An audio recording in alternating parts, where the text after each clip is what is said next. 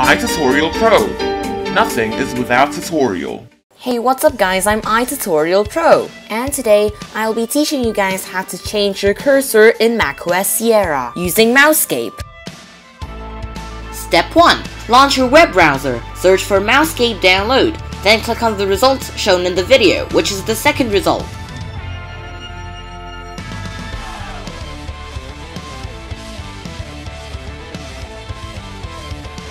Step 2. Scroll down to 0.0.5 and then click on Mousecape Zip under Downloads to download the file. Step 3. Open the zip file. An application named Mousecape will appear. Launch the application and move it to Applications. Step 4. You can choose to remove the unnamed cape to the trash, and then click on Windows and click on Dump Cursors. The cursors dumped are the default cursors.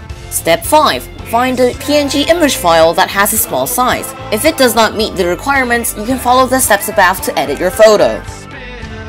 Step 6. Go back to Mousecape, click on the cursor dump cape, secondary click, and then click on Edit. Step 7. Delete the cursor files you want to edit.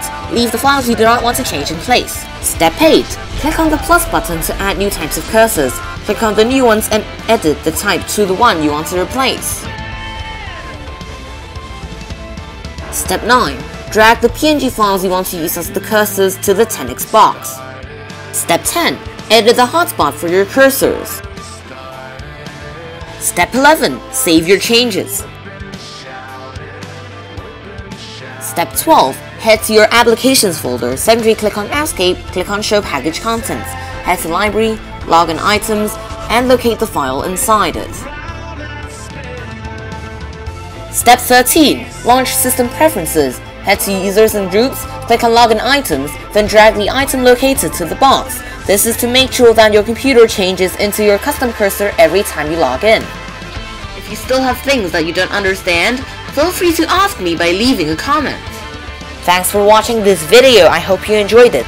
If you enjoyed this video, don't forget to like this video, subscribe to my channel, check out my Facebook page and my other videos as well. I'll see you all guys next time. Peace out everyone.